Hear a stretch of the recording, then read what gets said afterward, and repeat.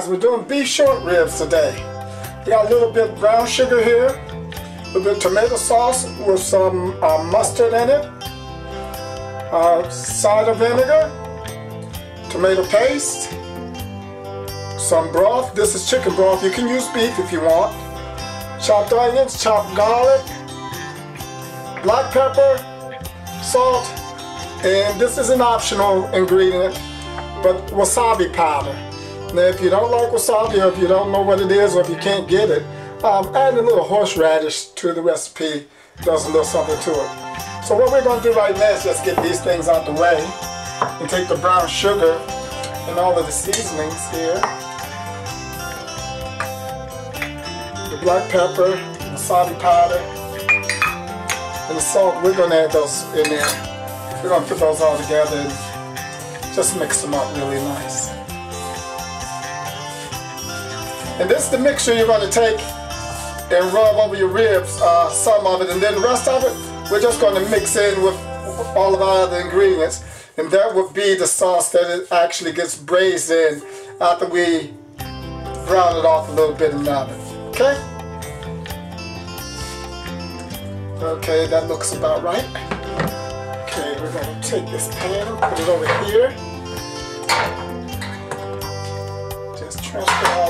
Meat in here really quick. And we'll start on the back side actually.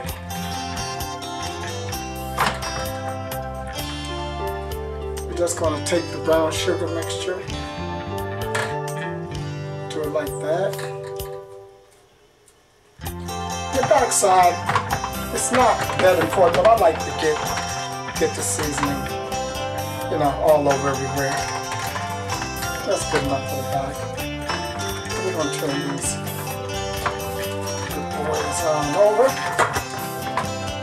We're going to hit a little bit on the front. Oh, this is going to be good. And I have an oven sitting at 425 degrees.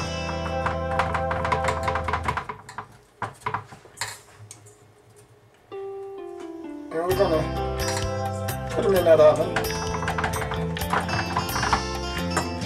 And let them go for a bit. Alright. Put them in there and just let them go.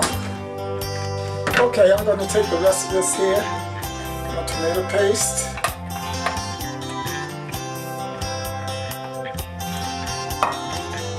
Tomato sauce and mustard mixed together there.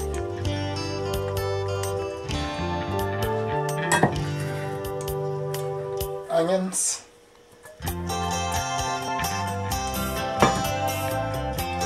Garlic. My broth. Good time wash my tomato sauce off in there. And my cider vinegar.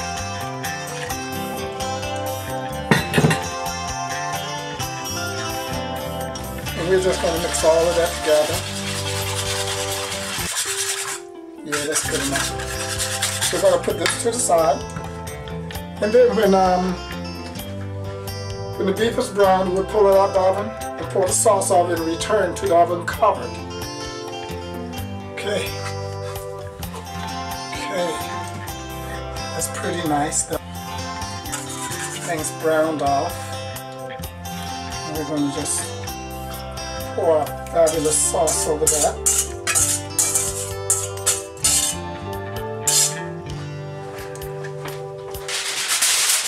We're going to cover that up. And we're going to put it in the oven and let it cook for about an hour and a half.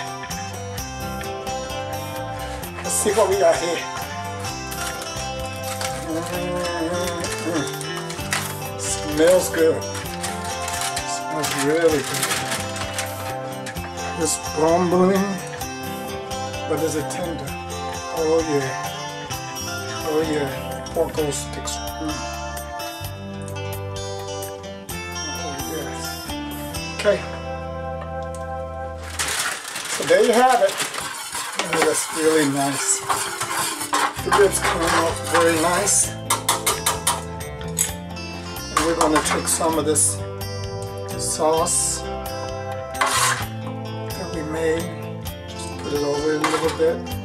This is this is a type of barbecue sauce, I guess you could call it, but it's not the smoky hickory barbecue sauce that you get out of the bottle. It's actually the barbecue sauce that you make with the rib. Or as I like to call it, this is true bone sucking sauce here. And we're going to do that like that. And that's it. And of course I like a few scallions on top of it. I love that. But the flavor that it brings out. So that's barbecue short ribs.